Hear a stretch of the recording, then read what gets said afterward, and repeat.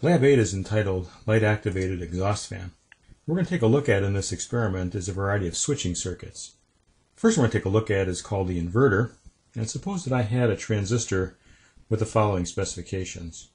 A base emitter turn-on voltage of 0.65, a collector emitter saturation voltage of 0.2, and a beta F of 150.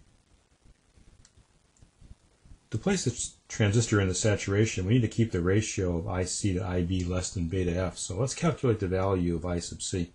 Well, it's going to be this node voltage minus this node voltage divided by R sub C. But the output voltage will equal VCE sat if we're saturated. So we have this expression for the collector current. Now if we had a 10 volt power supply and a 1K value for R sub C, we're looking at a collector current around 9.8 milliamps. Now to keep the collector to base current ratio less than beta F, which is 150 in this case, we'd have to have a base current that's greater than 65.3 microamps. And the base current is going to be equal to this node voltage minus this node voltage divided by R sub B. But the voltage here back to ground is just the base emitter turn-on voltage. So here's our expression for I sub B. Suppose that Vn were a high signal and it would be probably as big as the power supply. It's usually have one power supply for an entire system. And so we, we would like this base current to be greater than 65.3 microamps. And so we could solve this equation for R sub B.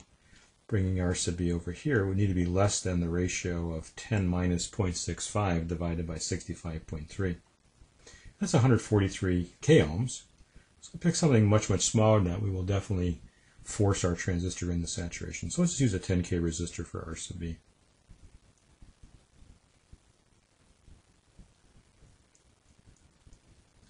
Now suppose that our inverter was hooked up to a capacitive load. And again, we're going to hit it with a, a, high signal and a low signal and a high signal and a low signal. Just toggle between the two states of saturation and cutoff. If the transistor is saturated, then the voltage across this capacitor is sitting at the saturation voltage of the collector emitter, which is around 0.2 for this particular transistor. Now when you cut off the transistor, we can think of it as an open circuit. And then what we've got is a 10 volt power supply, a resistor, and a capacitor that's sitting at a very low voltage. So it's going to try to charge up to the power supply.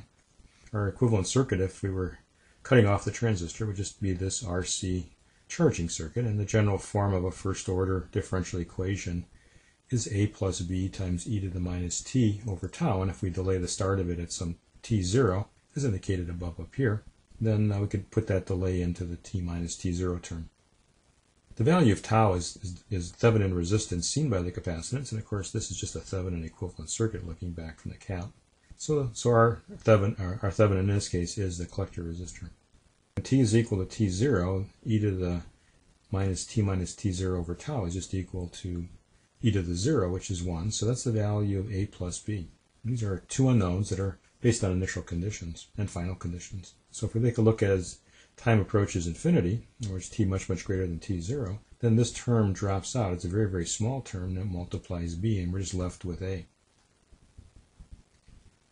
So a is equal to VCC, and then a plus b is equal to VCE sat, so, so b is equal to VCE sat minus VCC. In this case, we have 10 minus 9.8 times e to the minus t minus t0 over tau, and with our value of 1k and 0.1 microfarad, we have a 100 microseconds. And so it takes about five time constants for us to reach steady state. So if you were to draw this here starting out at some initial condition VCE sat, it would take about 500 microseconds for it to get up to roughly VCC, which is in this case 10 volts.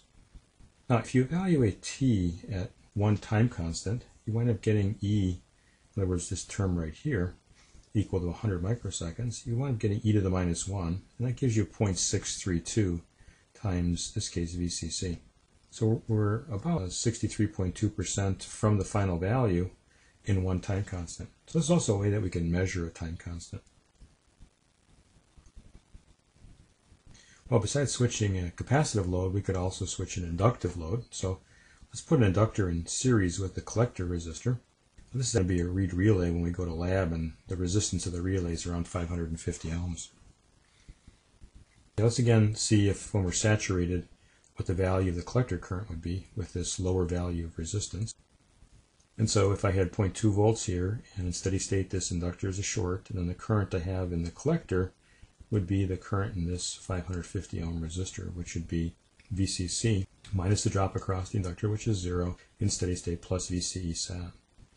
And so with 10 volts and 0.2 and 550 ohms, we're looking at about 17.8 milliamps. Our base current is still what it was in the previous case, and so the ratio of IC to IB is still less than beta F. Now, when Vn is equal to zero, we're going to cut off the transistor. But if we had been in saturation for more than five time constants, the collector current would be around 17.8 milliamps.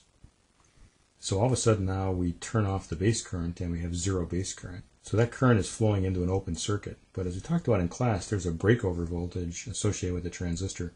And so here we're sitting at saturation at about 17.8 milliamps.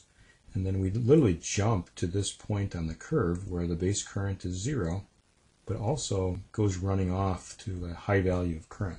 And so this breakover voltage is a fairly large number for a transistor. For the 3904 we'd be using in lab, it's around 40 volts minimum, but can be in the hundreds volt range. We'll see in lab that we create a 100 volt or whatever V sub VC0 is when we switch the transistor off.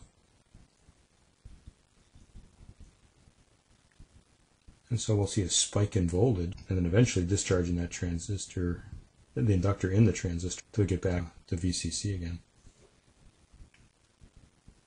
This uh, stress on the transistor can uh, sometimes just destroy it on the first spike, but sometimes it takes many spikes of a constant wearing on the PN junctions. So we need some way to fix this up. And as we talked about in class about using what's called a damping diode, and that's putting a diode across the coil such that when the transistor is uh, saturated, as you have 0.2 volts here, and we have 10 volts here, the voltage across the diode is 0.2 minus 10, so it's cut off. Uh, and then when the transistor is going from saturation to cutoff, the current that's flowing in here has a place to go and can discharge through this diode. And when it does that, the diode gets forward biased and the output voltage, instead of shooting up to several hundred volts, is just going to be around 10.6. Relay we're going to use in lab is called a reed relay. And what it is, it's two metal rods with a coil wrapped around. And when voltage is applied to the coil, which has some inductance and some series resistance, it creates an electromagnet. And that closes the contacts, and we get points A and B shorted together. One of the reasons we use a reed relay is that we get an isolation between our switching circuits and the load that we're trying to control. So if we had a very high energy source out here, in this case we're going to be turning a fan on and off, we're able to isolate that from the controlling circuitry. So if something went wrong, we wouldn't melt the electronics here or maybe uh, propose a hazard to the user.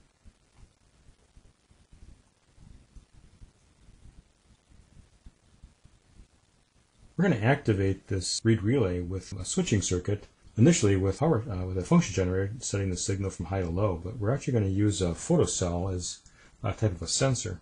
There's a whole bunch of different types of devices that are light sensitive, but we're going to use a cadmium sulfide device. The device looks something like this, like a little serpentine pattern when you look down at it. electronics will use this as a symbol, a resistor with lambda above it. What this does is that when the light intensity is high, we see a low resistance, and when we have darkness, we see a relatively high resistance.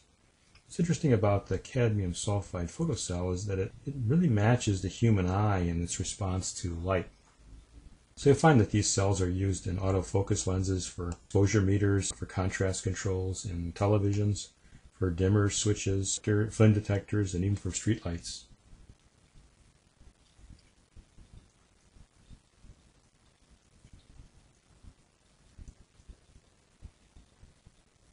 Okay, the concepts that we covered in this lab are the logic inverter, switching resistive, capacitive, inductive loads, using a damping diode to discharge a coil, using a relay for isolation, phototransistor as a sensor. We're going to show in lab that we can play with a magnet and also force the uh, contacts in the reed relay to open and close. Going to use the times 10 probe because we're going to be creating some pretty large voltages in lab. We don't want to burn out the front end of the oscilloscope. We're also going to use the marker feature on the scope to measure the difference between two points on a trace. And this is lab number 8, a light activated exhaust fan.